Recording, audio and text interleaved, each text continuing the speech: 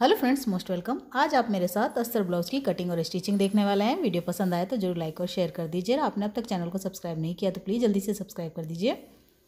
तो ये मैंने नाप लिख रखा है, इस नाप से हमें इस ब्लाउज़ की कटिंग करनी है। ये मेरे पास फैब्रिक है। और ये जो नाप बनाना है, लंबाई हमें बनानी है तेरह इंच, चेस्ट है हमारा चौंतीस इंच, कमर हमें बनानी है उनतीस इंच, शोल्डर है एग्जैक्ट चौदह इंच, आस्तीन की लंबाई है साढ़े पाँच और आस्तीन की जो गोलाई है वो है ग्यारह इंच। नेक हमें बनाना है आगे छः और पीछे के लिए नौ इंच। तो ये देखिए फैब्रिक है, साथ में लाइनिंग अस्तर। और ये जो लेस है, ये मैंने निकाल दी है ब्लाउज में से, इसे हम स्टिचिंग में वापस अटैच कर लेंगे। तो सबसे पहले हम अस्तर की कटिंग करेंगे और ये जो कपड़ा है, ये मैंने कर लिया है फोल्ड और किनोर देख रहे हैं आप साइड में, और ये मैंने फोल्ड किया है दस इंच में। क्योंकि हमारा जो चेस्ट है थर्टी फोर उसका वन फोर्थ होता है साढ़े आठ, और डेढ़ इंच मैंने मार्जिन ऐड करके इसको डबल फोल्ड में लिया है। अब तेरह इंच हमें बनाना है तो ये लेंगे हम चौदह इंच, एक इंच ज़्यादा।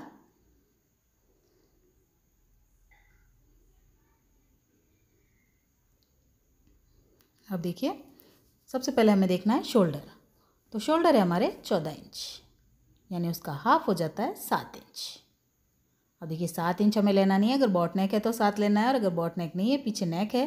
तो जैसे नौ इंच नेक है तो पीछे जो हमने शोल्डर लिया है, उसमें से हमें पौने दो इंच कम करना है।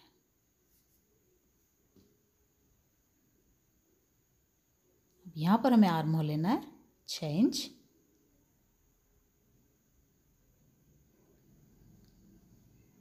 अब हमारा चेस्ट है थर्टी फोर इंच यानी उसका वन फोर्थ हो जाता है साढ़े आठ इंच और ये डेढ़ इंच पीछे बचेगा नेचुरली हमने दस इंच में फोल्ड किया था इसको तो ये अपना आप डेढ़ इंच जो है वो मार्जिन हो जाएगा।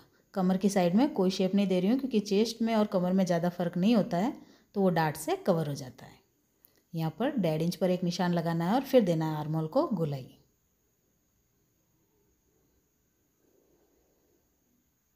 यहाँ से मैंने नेक की चौड़ाई ली है ढाई इंच। और यहाँ पर हमें बनाना है नौ इंच तो ये मैंने ले लिया है साढ़े नौ इंच। और नीचे से मैंने इसकी चौड़ाई लगभग तीन इंच बराबर ली है और इसको राउंड में शेप दे दिया है। और ये हो जाएगा हमारा डाट का निशान, जो हम पीछे डिज़ाइन के अकॉर्डिंग भी आगे पीछे कर सकते हैं। और हाफ़ हाफ़ इंच में से हमें लगानी है।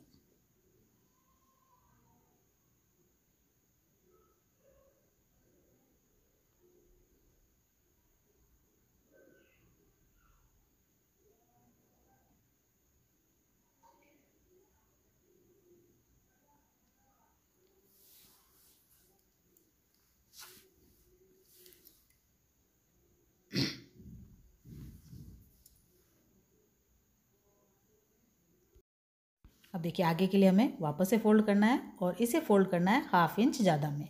यानी पीछे हमने किया था दस में और आगे के लिए कर लेंगे हम साढ़े दस इंच में।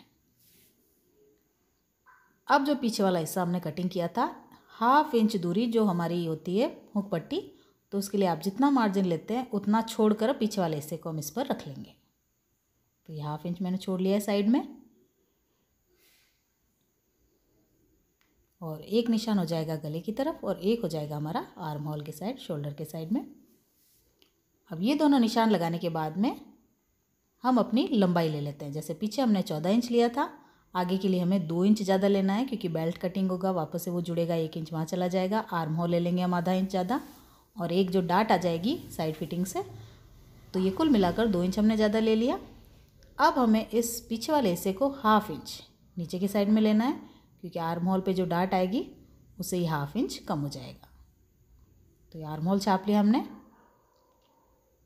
अब देखते हैं अपना नेक चौड़ाई हमने ले ली है और लंबाई में हमें बनाना है छः इंच यानी कि साढ़े छः इंच ले लेंगे हम।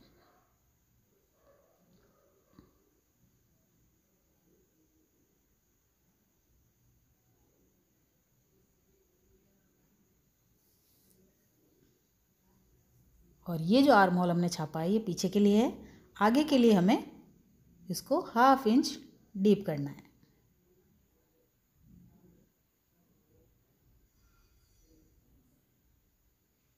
सिर्फ़ हाफ़ इंच है।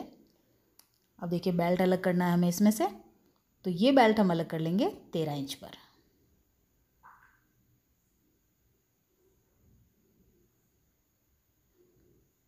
और यहाँ पर बेल्ट का तिकोना हिस्सा ले लेंगे पौन इंच और ये बेल्ट का शेप दे देंगे।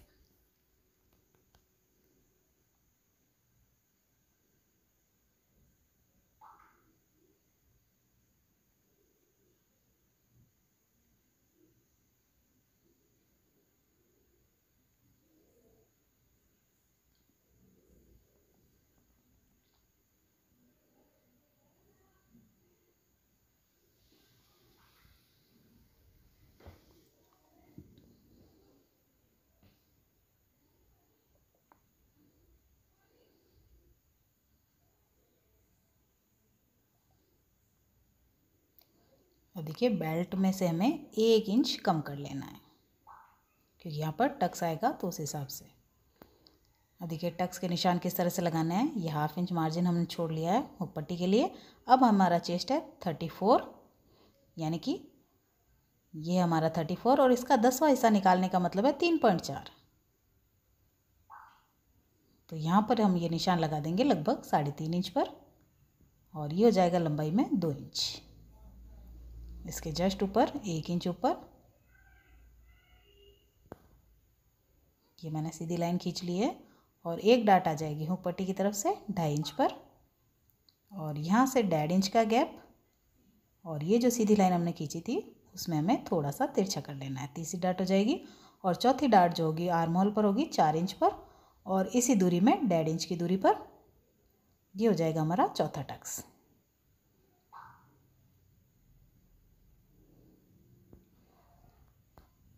अब लेना है हमें अपनी स्लीव तो स्लीव के लिए पहले मैंने डबल फोल्ड कर लिया है, साढ़े पाँच इंच बनानी है, साढ़े छः में डबल फोल्ड कर लिया है और उसके बाद एक बार और फोल्ड किया है मैंने इसे।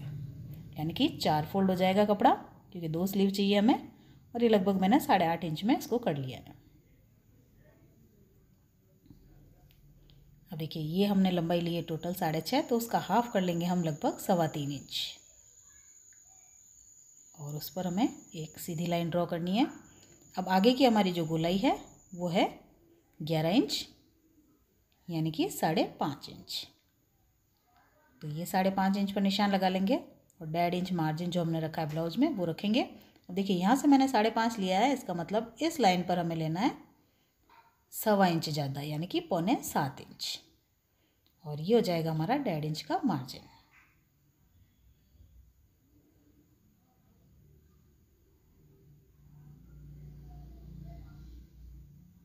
और हमने दे दी गोलाई।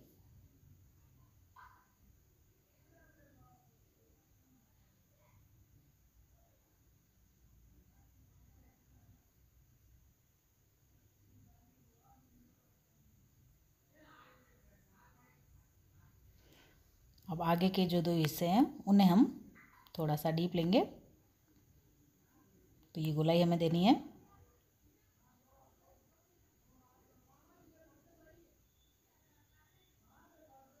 अब ये सारे पीस जो है, वो साड़ी वाला जो पीस है, उस पर रखकर हम कटिंग कर लेंगे। थोड़ा सा चारों तरफ़ से एक्स्ट्रा ही रखें।